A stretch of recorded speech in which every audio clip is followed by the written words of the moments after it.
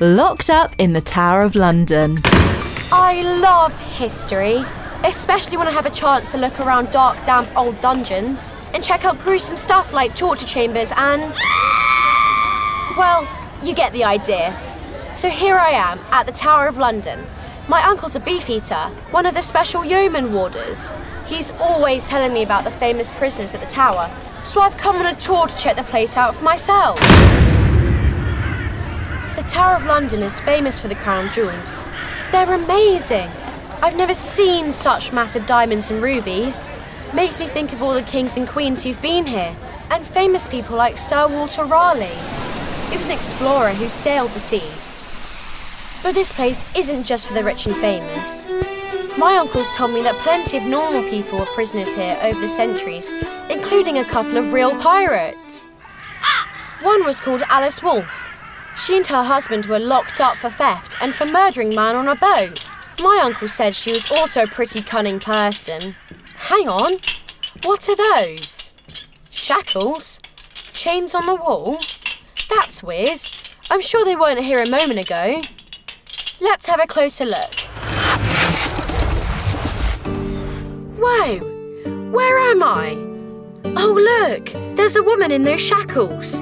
This room is so dark and cold, it's hard to see. Maybe that's Alice Wolf herself. Madam, you and your husband are both to be executed for the murder of Jerome de George and Charles Benche. Oh, take pity on a poor, weak woman, please. These shackles are so painful. I've done nothing wrong. See, I'm not strong enough to raise my arm, far less kill a man. So fair and weak. What a web your husband must have woven to entreat you to be complicit. Yes, none of it was my fault, and I am so thirsty, sir. I beseech you, aid a lady in distress. I reckon Alice is good at persuading people to do things. Look, he's loosening the chains and getting her a drink. Thank you, kind Mr. Bawde. How handsome and strong you are. Look, I think Bawde must like Alice. He's come back, even though it's the middle of the night. Milady, our plan is thus. We shall meet on the roof of St. Thomas's Tower. I shall cast ropes over the wharf and we shall slip past the guards with you disguised in this cloak. To appear as if we are but two gentlemen. Me? Disguised as a man? What larks! How happy we shall be! Oh, let us be swift. Success, my lady! We have made it outside the tower. Freedom is yours. You pair, halt! Oh, drat. He spotted us. Dressed as a man, Madam Wolf. A foolish plan. Bawde will be tortured, and you shall not escape again. Death is the only escape you can hope for now. I know what they say of me.